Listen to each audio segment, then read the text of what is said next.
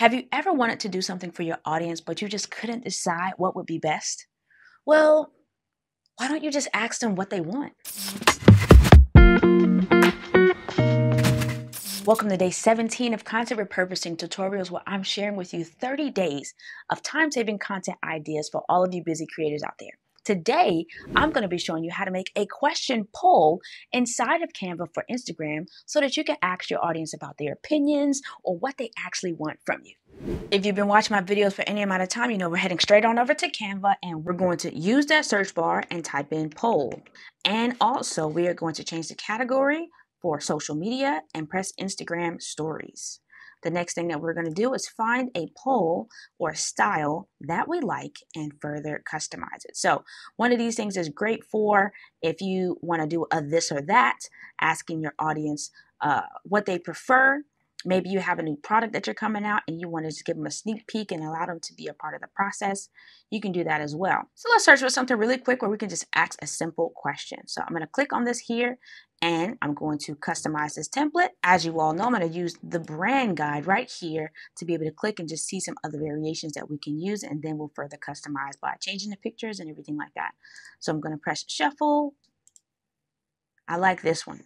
Okay, I can't really see the paper, but that's all good. That's why we have options, okay? So what I'm going to do is I'm going to choose uh, some seasons. I think that's pretty easy. So I'm going to go down to photos and I'm going to ask people if they like Christmas or Valentine's Day. So find a Christmas photo. Let's put Christmas tree. There we go. I can double click to kind of move that over. Good Christmas tree. I'll put Valentine's Day. This makes, yeah. Well, Happy Valentine's Day works too. Just another reminder that if you see the crown here, that means it's for the pro plan and you would have a watermark if you to use it. But there are plenty of ones without it. That's for the free plan if you continue on that way. I have a little mistake here, so I can just delete that. So what we're going to do is we're going to delete these options and I will show you why uh, pretty soon. I'm going to extend this box just a little bit and we are going to say Christmas or V-Day. Make sure as well with these templates that you look around and make sure there's no other elements that share other people's information. So I don't, I'm not going to use it, so I'm going to just delete it.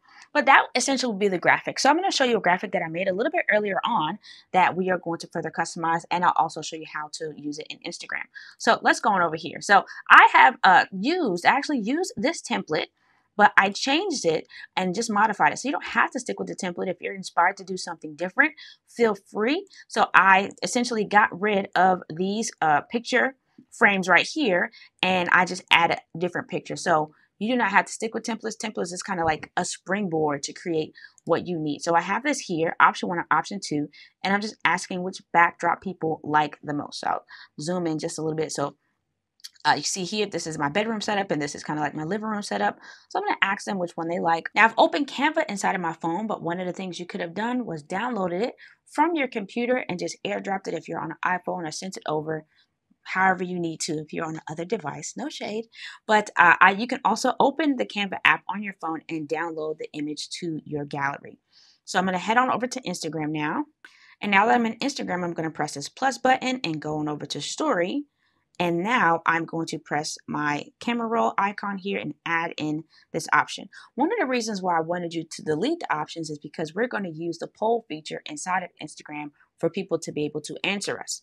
And the way we're going to do that is press this sticker button here and we are going to go over to polls press polls. Now we're not going to ask a question because we already have a question. So we're going to head just, we're not going to fill this in. We're going to go right into the boxes here and just type in, since we have option one and option two, we're just going to put in option one, option two. You get, get silly and add some more options here, uh, like just keep creating. So what will happen is when I click out of this, the question part, the black part, the question disappears. So now we can just only use this, which works great. So I'm going to shrink this down and put it inside of this box. Now, what really works well for this here is that when people answer it, you'll be able to get like a metrics that people answer. So I might be saying two, five, or however many people uh, selected question one or selected question two, and you'll be able to get that data from right inside Instagram and also engage with those people. So let's go ahead and post this here. I'm going to add this to my story and I'm going to go to a different profile so you can see how it looks when people vote. Now I'm here in a different account to engage with that post that we just posted and I'm going to make my option. I'm going to put as long as you're in the video and you see I can see it's 100% of people, which I'm the 100% that posted, and then I've engaged. So let's go back to the other profile to see the data. Now I'm back in the other profile. I'm going to click on this image right here, and we can see the post, and we can see somebody answered. The way that you can know who answered is you're going to swipe up so that you can see the results. I'm going to swipe up, and now you can see that we have no votes for the other categories, but we have one for the fourth one. And you can even scroll down and see who did it it was me. So this is a great way that if you were asking a specific question or maybe you have an offer for somebody who'd like to take a two-week class with you or maybe even book a session with you, and I can go right here and just message them. So I can click here if it was me, and I can go straight to that person's messages and continue to engage in a conversation with them based off of what they answered.